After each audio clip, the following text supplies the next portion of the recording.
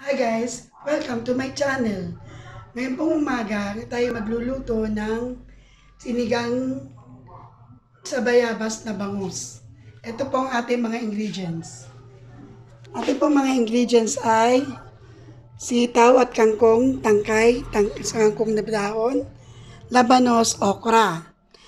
Bangus po, ating pong condiments, asukal, asukal, asin, at pamintang durog. Ito po ay pakukuluin na, dito po yung bayabas na ating binlender. Tinanggal po natin yung buto. Ni-strainer at nilagyan ng sibuyas. Ngayon po, pakuluan na po natin to. Lagayin lang po natin, nilagyan lang yung sibuyas. Dito, lagyan natin ng asin. At konting paminta. Yan po muna natin kumulo itong ating pinag ah, blender, binender na asuk na bayabas. Yung pong bayabas na hinog po, ginamit dito.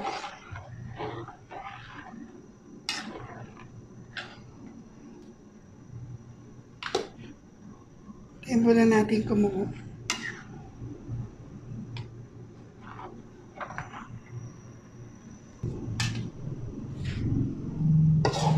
Pakuluin po natin itong ating bayabas na binlender na may sibuyas. Takpan po muna natin.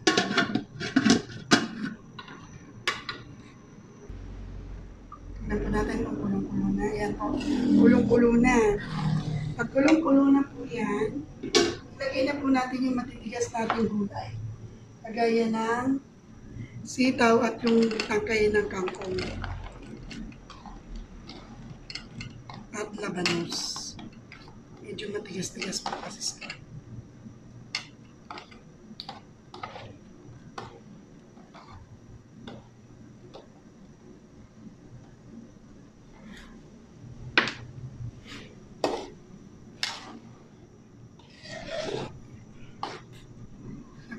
Natin ulit. Hayaan po nating maluto yung sitaw at saka yung ating mga gulay.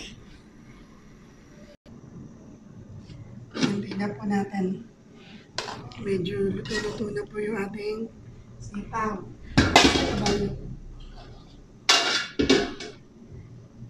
Lagyan na po natin ng ating okra.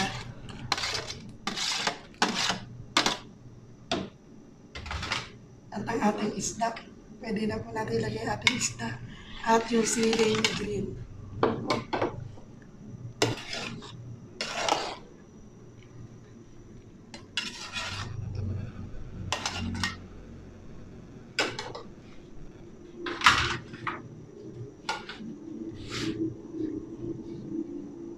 Takpan po muna natin.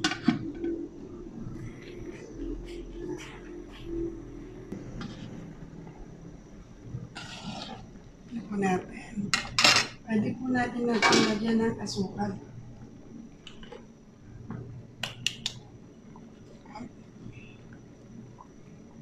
At try nyo na lang po kung anong gusto nyo tamis ng inyong sinigang sa bayabas.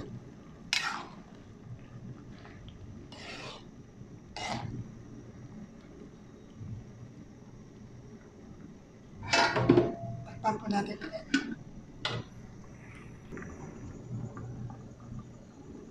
Buksan po natin.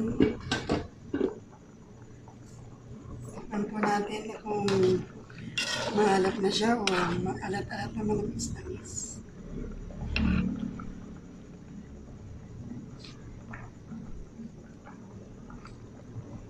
Kulang po siya sa alat at tamis. Tingnan. Sino?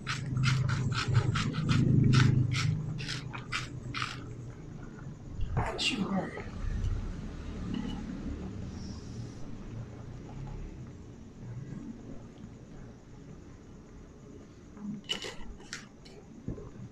Ang ating.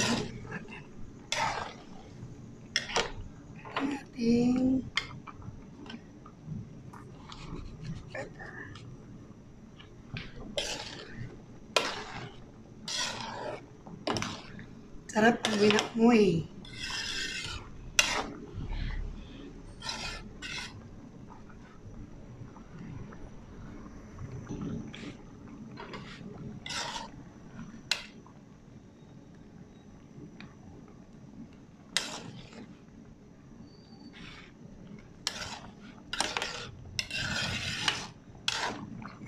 natin siya uli.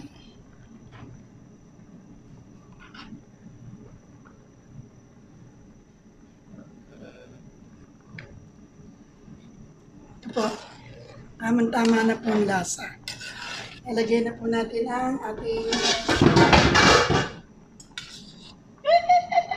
Panay nalalaglag. Ating kangkong na dahon. Tapos ng kangkong.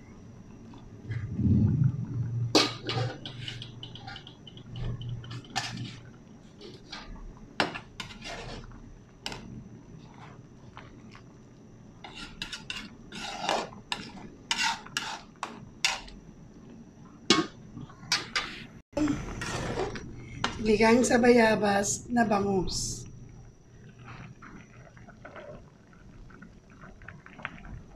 Sarap. Patay na po natin. Ito na. Don't, don't forget to like, subscribe, and click the notification bell para update ka sa aking channel.